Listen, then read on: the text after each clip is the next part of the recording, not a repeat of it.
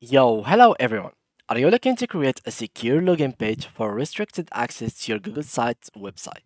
In this tutorial, I will show you how to create a login page in Google Sites. You'll learn how to design a login form, set up user authentication, and manage access permissions to protect sensitive content. So, let's get started. Before we start with this video, make sure to watch it from now till the end so you have full experience. So guys, once you have opened site.google.com, I will need you guys to first of all go ahead and start the new site. So here guys, as you can see, there is multiple kind of sites and different templates that they will offer you for you. As an example, you have here a blank page, which is simply as you can see if you clicked on it, a blank page. so you have nothing in here. You can here uh, add stuff and edit them later on but yeah, it is a blank page, so it is only for people who are kind of experts or for people who have time to design everything from zero. So this is for the blank page. Second thing, which is family updates. This family update, as it seems, it will give you a template with a menu that has been already integrated and some pictures about family and of course sections that you can edit and everything here also is editable so don't worry about it this template is fully editable here you can change it from family update to for example a restaurant uh, template. Here you have portfolio events help center projects and if I want like that you will find even much more.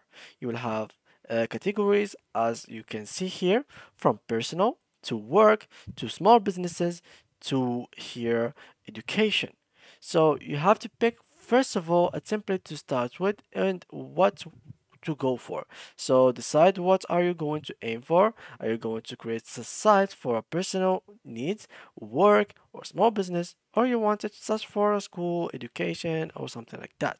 So just like that once you have chosen the site or the template that you are going for or even you can choose like the blank one let's get started. So now guys to be fair google sites after you choose the correct template for you etc and you get to the settings itself so let's click for example on this template and let's click on the settings from here you will not really have like a shortcut for login page. So you click here, drag this, and voila, you will have like a login page ready for you to use. Well, no, this is not how it goes.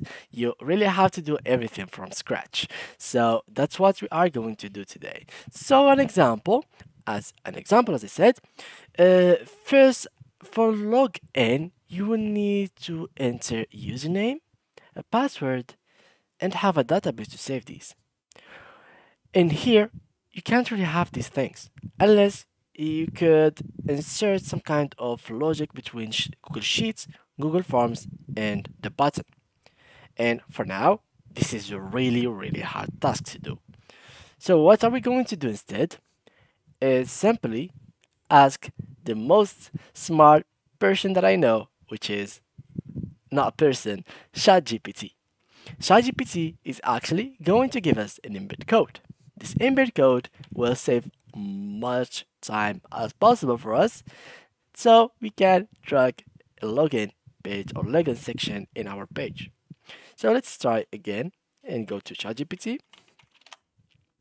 So here as this page pop-ups for you, click here and let's ask it for uh, give me a secured um, login page, uh, login section that links and saves the user and password to Excel like Google Sheets. So here we go. To create a secure login section that links and saves users' section, a credential to a Google Sheet, you need from a setup HTML and back end setup. Uh, so you will need all of these things in here. So in that case, this is not possible for us. Why? Because as you can see, there is two different codes that we have to implement and add. But if we try to do so, for example, here, um, I'm going to click here on embed code and I'm going to do this and then space, copy this and paste it. Next, it will be something like that. And this is not what you are looking for. Since this is not actually going to help you a lot, what you can do is simply have only the first code, which is literally bad for us since it will not really save everything for us. So let's have it for now like that. Here we go. I'm going to click here, uh, embed code, embed code, click next, insert. Now I'm going to ask it to uh, give me a better uh, looking version of the first code. So here they will give us like a better looking version of it that looks pretty much better, uh, not something like that, uh, because we are in 2023. Uh, this is not a login page for us. Uh, we need something to look brilliant, smart, and kind of like modern. So here we go, we have this code. I'm going to copy it. Um, let's click here to copy this. And then I'm going to edit the code and paste it once more. So this is an example on how the login page is going to look like. So let's make it big as possible, drag it in the middle, and this is the login page that we had. So let's click on publish and see how it works. So I'm going to type here random names, publish, and let's see if it's gonna work for us. So let's view the page. Here we go. Let's go all the way down, and this is the login page. So let's try to give it, for example, a password, log in, and it's not gonna function yet.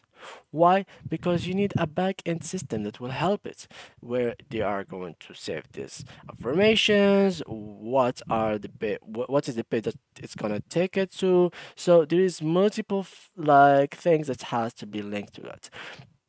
But overall, if you'd like to really have everything in details, make sure to learn about HTML and CSS. And I'd rather, for me myself, if I was good at CSS and HTML, I would not bother myself creating a website using Sites Google. I would probably just write it like a text notepad and start coding in it. And that would be a hundred times better than Google Sites, since it's really limiting your capabilities it doesn't allow you to publish any videos it doesn't allow you to do a lot of things. So as long as you have the possibility to actually have uh, the knowledge about PHP, CSS, HTML, Java. Just create your own website from scratch and that will be much better for you instead of having Google Sites. And there is so many hostings that are for free that can actually hold your files and publish your sites online without any problems. So in case that was the problem for you, there is so many hostings guys, you just have to look up for it. And in case you were looking to create a login page using site.google.com, eventually you really can't. Even if you search here, so let's search for example login page in Google Sites so how to add login page here? Can I add create? Can I create a login page? So you can create sign in to a classic Google site using your administrator account. There is nothing. So how do I create user uh, user in Google site? Open a site in classical sites. At the top right corner, click share and then invite people. So this is only to invite people to your website and to give them the permission to actually. Here we go. So share with others. So this is only to actually give permission to others to actually start editing on the website and looking at it but in general as given the actual user like users uh, facebook like a facebook account like you have users etc you really can't do that. So this is it for today's video guys. If you have any more questions make sure to leave them down below in the comment section. I will make sure to answer all of your questions one by one. And thank you guys a lot for watching. See you guys in the next tutorial